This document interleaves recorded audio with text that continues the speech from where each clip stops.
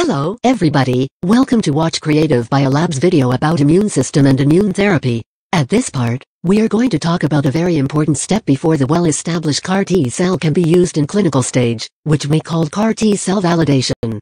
Chimeric antigen T cell is a new therapeutic technology. Its evaluation method is still full with uncertainties. The therapeutic mechanism of CAR T technology is not being fully elucidated. Besides, CAR T therapy is a personalized therapy. Its quality and efficacy are highly depending on patient individual variation. No widely accepted universal standards, nor evaluation guidelines from similar products can be referenced for now. Although no existing protocol can be used, CAR T cell products validation assays both in vitro and in vivo are still essential for CAR T cell therapy development. Most CAR T therapies to date have been experimental and performed under academic standards. Only a few therapies are approved for market. Quality control testing of CAR T products use mainly biological assays.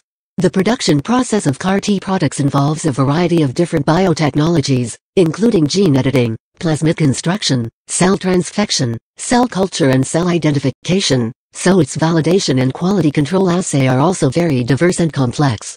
Nonetheless, Dr. Bruce L. Levine from University of Pennsylvania, concluded in his review published on cancer gene therapy in 2015, that four characteristics of CAR T products must be certified at preclinical and clinical stage, safety and sterility, purity, potency and identity. Most of the CAR T validation assay can be summarized as tests for at least one of these four aspects. Sterility and safety test is to use preclinical experiments and in process or final product testing to ensure the removal of reagents that were used in the manufacturing process, and the final product is free from contaminating microorganisms. Sterility issue mainly concerned that the raw materials are sterile, free of endotoxin, bacteria, fungi and mycoplasma. This is tested by regular microbial testing methods. The safety issue is much more complex. Cytokine release syndrome, on-target off-tumor toxicity and neurological toxicity are all very important safety issue of CAR T therapy. Cytokine release can be tested by multi-cytokine ELISA assay. On-target off-tumor toxicity can be tested by cell content and histological assay. The mechanism of neurological toxicity remains unknown. No specific assay method could be used. Besides these, replication-competent lentivirus is also a potential safety issue. Although the third-generation lentiviral vector system minimizes the risk of RCL, P24, GAG and TET gene PCR are still necessary assays to avoid risk. Since CAR T therapy cure patients through ray infusion the engineered T cell back into the patient's body, the infusion cell purity is very important. Not only microbial contamination affects the purity of CAR T cell products, other non-effect cells types and reagent contamination, introduced during sample treatment also affect the purity of CAR T cells. The cell impurities could be probed by cell marker antibodies and sorting by FACS. The reagent residue could be removed by washing multiple times. The above two aspects are to ensure CAR T cells are harmless to the human body, and the latter two aspects are to ensure that CAR T cells are effective of anti-tumor activity. Identity is to establish and certify the CAR T cell product characteristics. For example, the CAR surface expression and CAR transfection efficiency, which can be verified by FACS and qPCR. Potency is the hardest part of CAR T cell validation assay. These tests is to examine whether the therapeutic capability of the cell product will be as it was intended.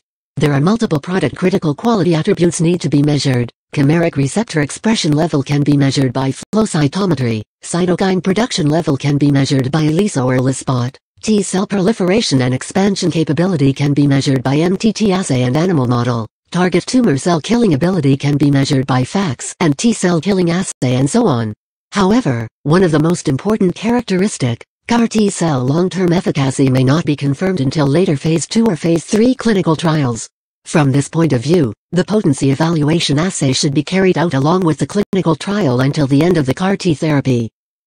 With the development of CAR-T technology and the urgent need of CAR-T product commercialization, the evaluation method of CAR-T product is also progressing. There are some emerging techniques developed to improve the efficiency of CAR-T cells manufacturing. For example, artificial antigen-presenting cells are developed from K562 cells. These artificial APCs have been shown to result in increased activation and expansion of T cells, compared with the traditional magnetic bead-based activation method. We should believe that in the near future, the relevant regulatory authorities and industry experts will accumulate enough experience to introduce a comprehensive assessment guide to regulate the production and validation of CAR T-cell products. Creative Biolabs is a veteran CRO company with years of experience in technical services and production of CAR T products, has many experienced scientists and one-stop CAR T service technical platform. We professionally perform multiple evaluations on the post-transfection CAR T cells to verify the solid success of CAR T construction and superior function, and design and operate a full range of validation assay services according to the client's T cells engineered objective. The featured service includes CAR T-cell in vitro assay service and preclinical in vivo assay as follow. Thank you for watching our video.